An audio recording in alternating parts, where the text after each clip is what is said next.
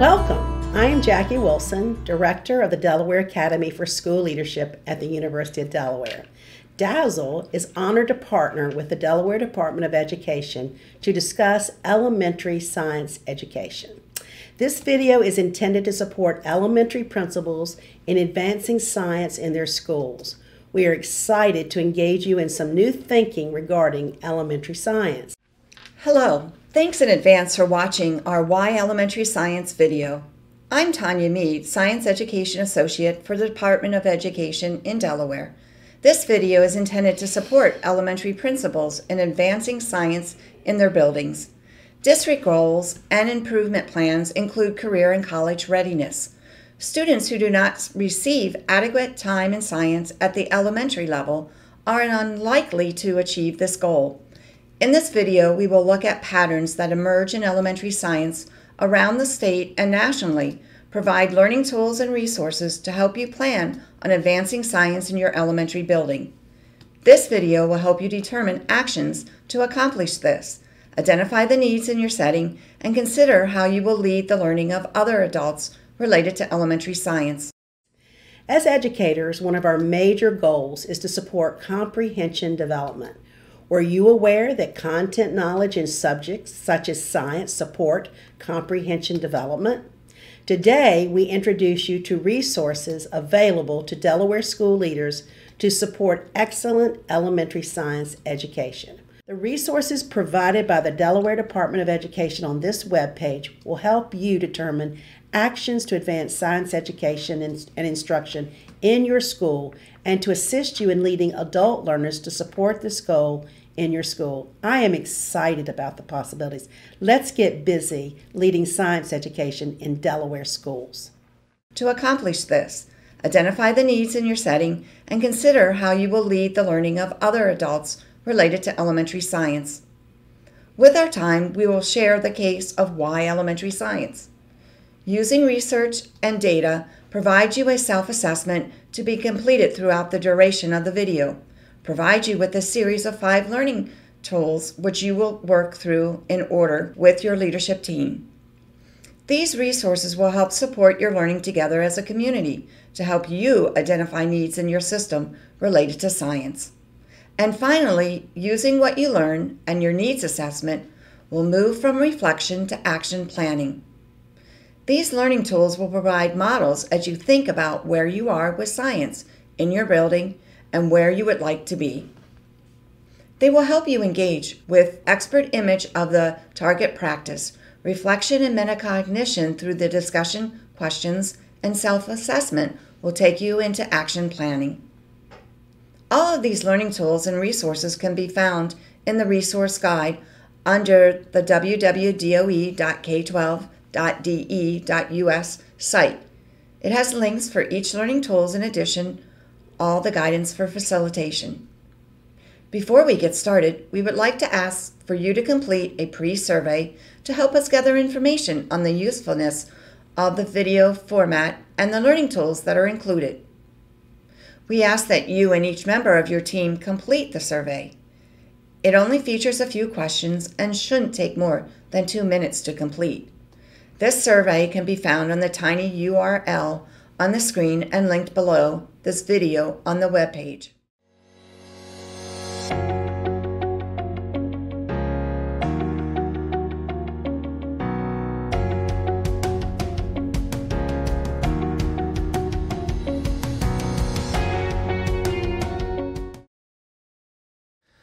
It's really important to teach elementary science because science really has two main purposes for kids. One the purpose of teaching science helps to really explain the natural world to children. And number two, and even more importantly, it builds upon their natural curiosity that they have. So teaching elementary science exposes the kids to lots of phenomenon and how that phenomenon is relevant to themselves. And that's what elementary age kids are really looking for, to be not only to understand themselves, but to be able to understand that world around them. Well, elementary students are curious by nature. They're like little sponges that soak up information during their elementary years. If you're a parent, you know that young children ask why about a million times a day. They're eager to figure things out and figure out how they work and why. If you watch young children on the playground, you're going to find them exploring on their own. They're curious about the world around them. That's what makes this an ideal time to begin teaching them about science. Just as they're learning the basics in reading and math, they need a foundation in science to build upon their later education.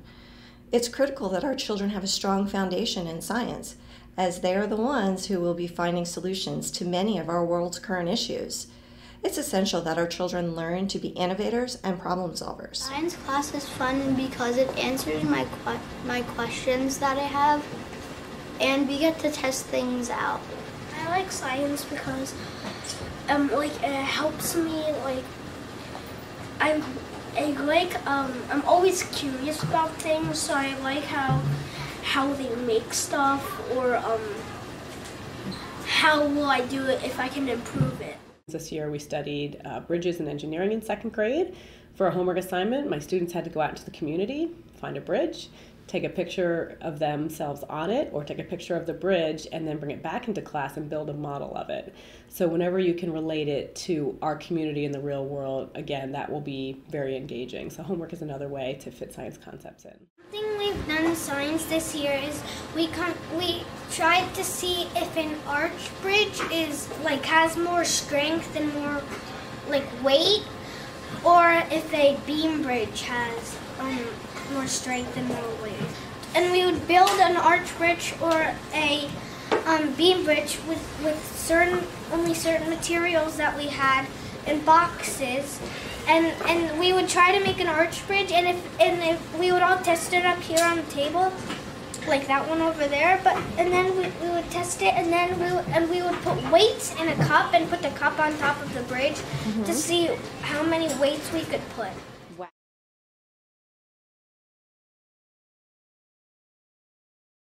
For the first of our five learning tools, we will be using an article from STEMteachingtools.org.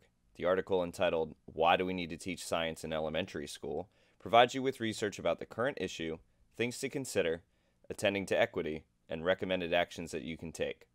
While you are viewing the article, feel free to explore additional studies that interest you by clicking on the hyperlinks. At this time, please pause the video and answer the following reflection questions utilizing Learning Tool number 1. After responding, complete sections T1 to T3 on the self-assessment. This is the first part of the teaching and learning section. Resume the video when you have completed your conversations.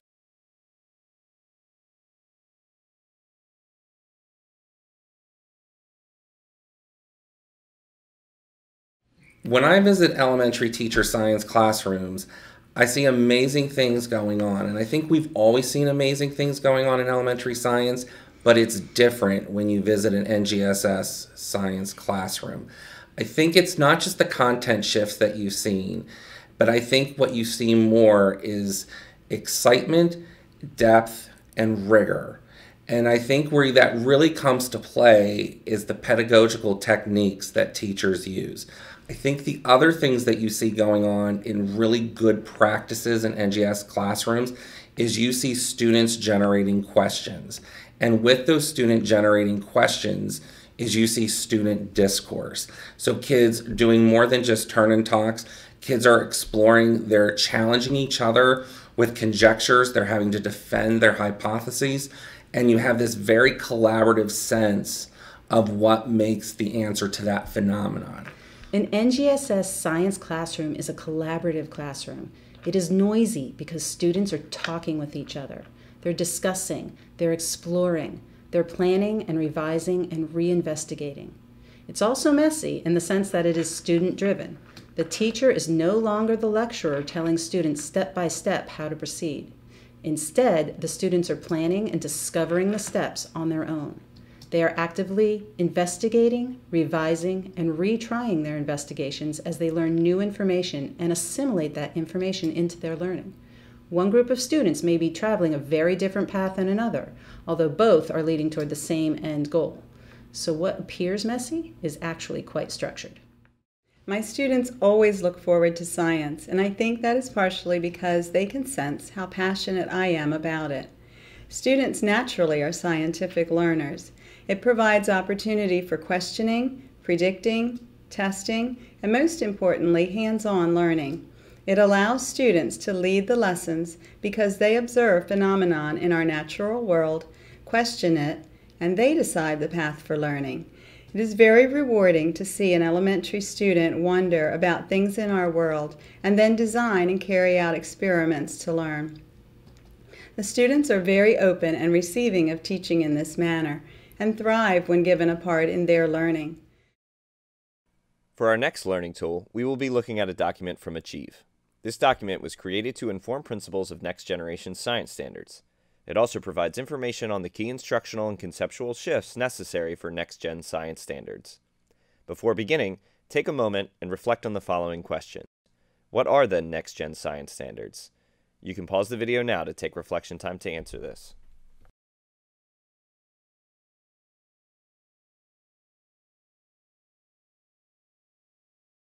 At this time, access Learning Tool number 2 using the following link. Review the document and discuss this as a team. Once finished, complete sections L1 to L3 on your self-assessment. Feel free to pause the video now. In order to cultivate a school environment that sees science as important and relevant, school leadership must embrace the new standards, work closely with the school leadership team so that they can get buy in from their colleagues, and provide sustained professional development in order to shift instructional practice. Even though all three are important, the last point is the most critical teachers need sustained and continuous professional development in order to shift their instructional practices. This consists of teachers modeling newly learned practices for their colleagues and getting feedback, having professionals model instructional practices using their teachers' students, and having professional conversations around the impact of those newly learned instructional strategies. For our third learning tool, we will be using an article from the University of Washington Institute for Science and Math Education entitled What School Building Administrators Should Know About the New Vision for K 12 Science Education. In this article, you will find a variety of STEM learning and teaching tools that help merge research with classroom practice. If you are interested in learning more about NGSS and issues related to implementation, you can find more at stemteachingtools.org. This tool specifically focuses on what school building administrators should know about the new vision for K 12 science education from the viewpoint of the next gen science standards. Go to the following link to individually read the article. Afterwards, answer the reflection questions that appear on page 2. Finally, pause the video and complete sections C1 and C2 on the self assessment.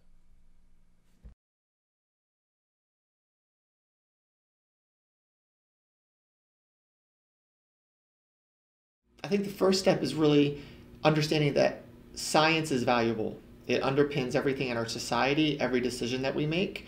And if we don't start understanding that from an early age and bringing it up through our curriculum, we cannot expect people to graduate college and career ready when it pertains to the sciences.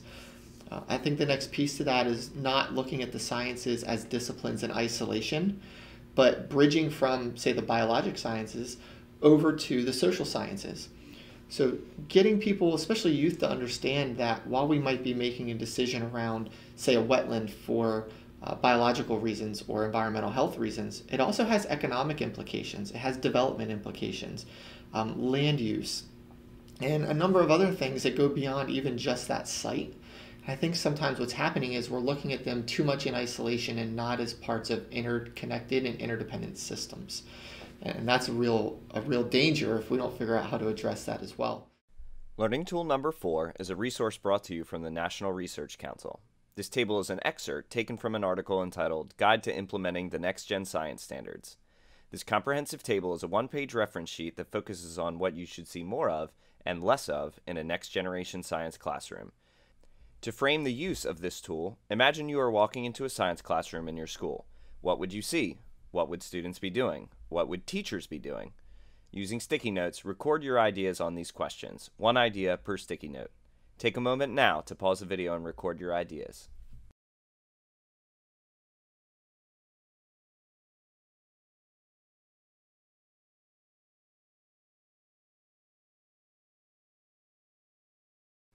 At this time, read over Learning Tool number 4 linked below and consider where you would place your sticky notes within the two columns.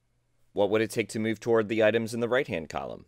After this activity, reflect on this guiding question as a group. What implications are there for next steps and action planning? Finally, complete sections T4 to T6 on the self-assessment.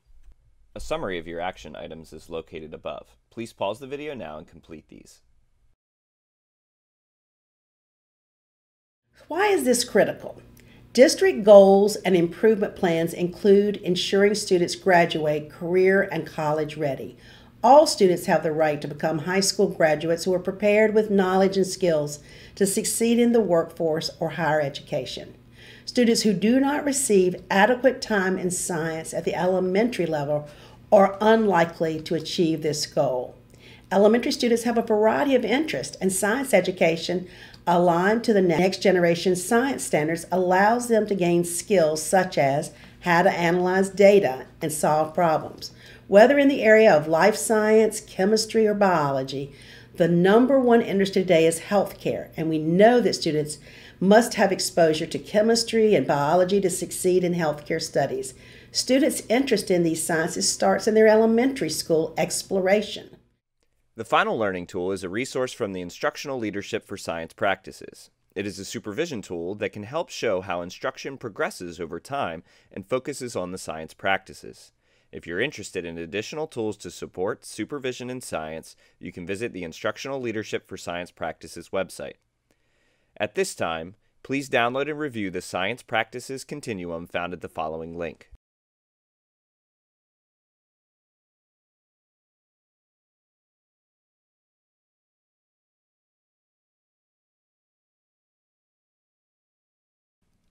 At this time, we would like to give you and your team some experience in observing some science practices in real classrooms. We are going to have you watch a video from the teaching channel in Achieve.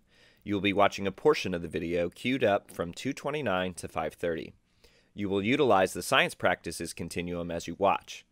As you watch and utilize the document, think about these guiding questions. What science practices can you observe? What level would you rate your observations using the science practices continuum? Please enter the link below and queue it up to 229. When you are ready, watch the video to 530 with your team, noting the science practices in which students are engaged. Afterwards, complete sections S1 and S2 on the self-assessment. Go ahead and complete the action items listed above now.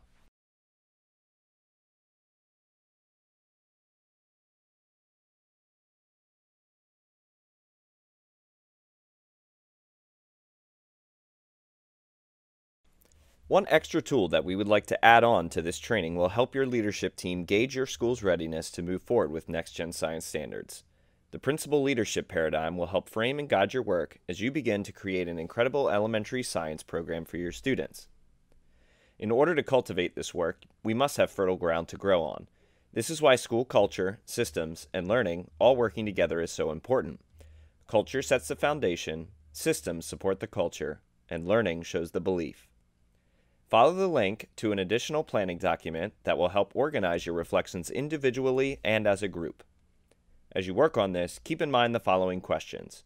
What problems of practice have you identified? What theories of action have you developed to drive your improvement efforts? What next steps need to take place to move you forward? Hit pause now and complete the following culture assessment questions. These questions are designed for you to assess your school's culture and readiness for the next gen science standards.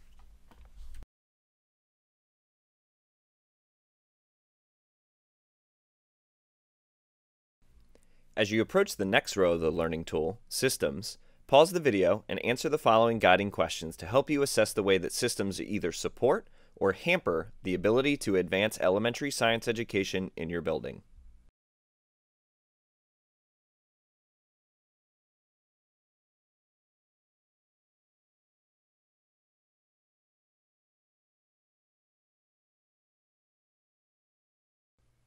As you approach the final row of the School Improvement Planning tool, Learning, pause the video and answer the following guiding questions to help you assess the way that your current way of learning for students and adults either supports or hampers the ability to advance elementary science education in your building.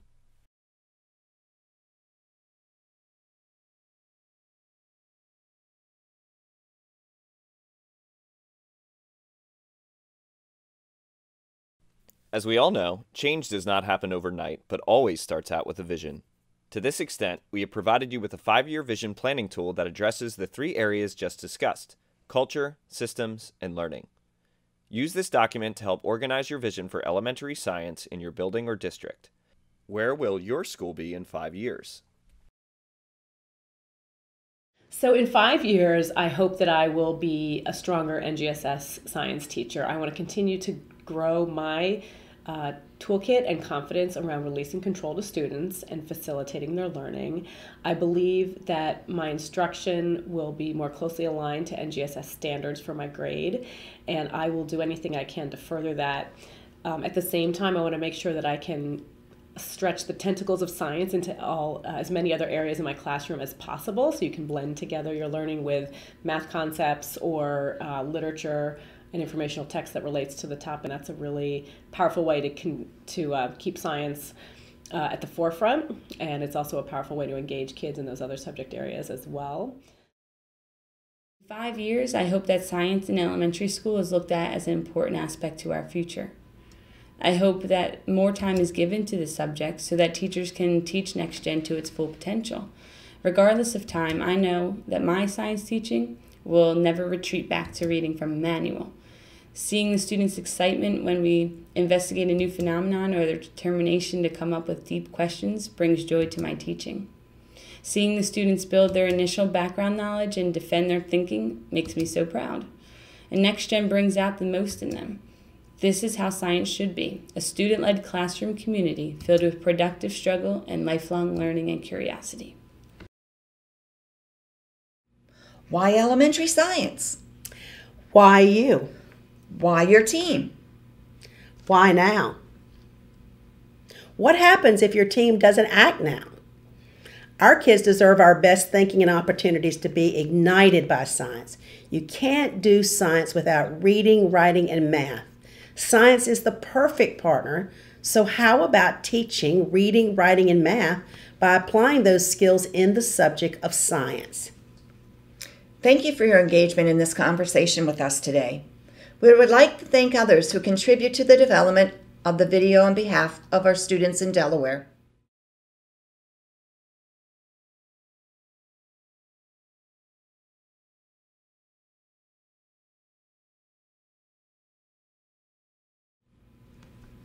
Lastly, we ask that you complete the post survey so we can collect data to know how well these resources are working. You can find it on the tiny URL on the screen and linked below this video on the web page. Thank you. Thank you. If you are interested in producing videos like this, visit vrwheatley.com today.